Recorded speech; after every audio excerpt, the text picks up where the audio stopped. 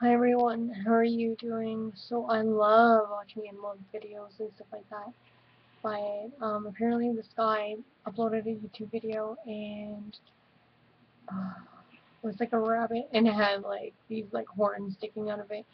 Um, I don't know what it is because the guy didn't really write a description of it, but I don't know, he kept shaking the camera, like you couldn't really tell, but anyways, you guys can check out the video link below.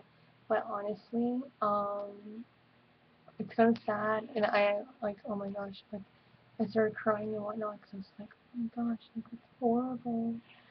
That is so horrible, so, like, is that, like, some kind of mutation? It kind of looks like some mutation. Or maybe, like, guy, because a lot of people have, like, rabbits for pets. Maybe that's not even real, like, I don't understand. Has, like, some, like, horns, like, sticking out from this way and that way and it's just like it's just so gross.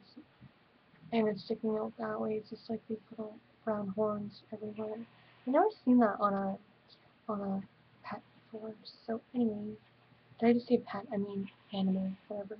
Anyway so check out um video footage and um, post a comment below and let me know what you guys think